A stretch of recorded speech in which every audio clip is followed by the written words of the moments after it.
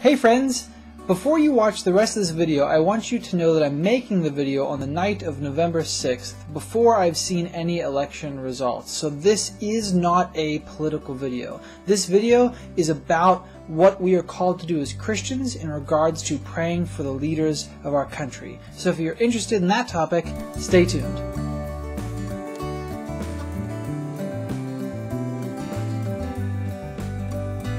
Guys, if this is your first time here, I personally just want to welcome you to the Homegrown Ministries YouTube channel. My name is DJ, and I provide encouragement through Bible study videos, words of encouragement videos, and answers to any of your questions from a biblical perspective. So if you like what you see here today, make sure you hit that subscribe button below so that way you don't miss any content in the future.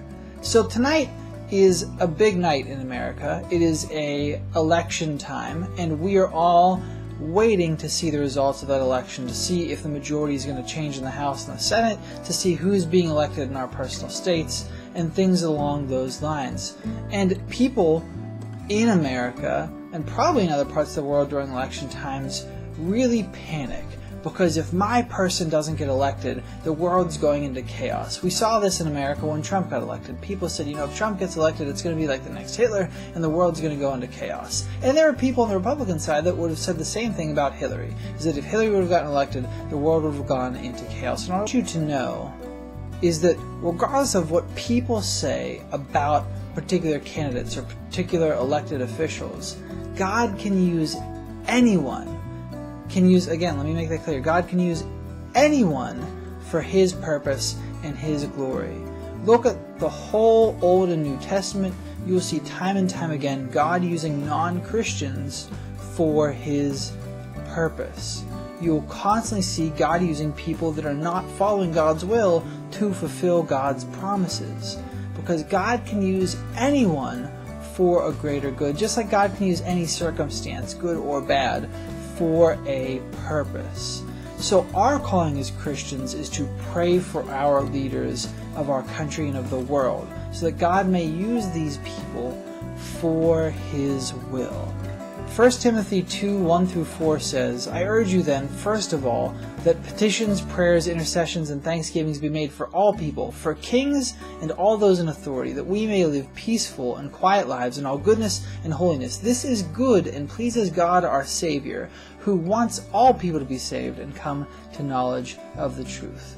So again, this just reinforces the fact, Christians and friends, that we are called to pray for the leaders of our country. So tonight, before any results are shown, before I know who has been elected. I just want to pray for this country, and I just ask that you join me in prayer so that God may lead this country and the rest of the world towards His goal and His purpose. So, guys, if you would, please join me in prayer with the Father. Father God, I come to you tonight with just the prayer request of leading this country in your will. Father God, I feel like sometimes we are so far removed from your rules and your order that I feel like there's no hope for this country.